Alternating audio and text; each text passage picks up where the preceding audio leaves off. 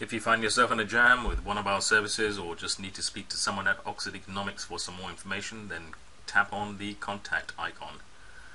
Here you'll see a list of all the business development managers organized by their regions that they're responsible for. Clicking on any one of their names will bring up more details including their email address and their direct line number and a brief synopsis of their responsibilities in the company.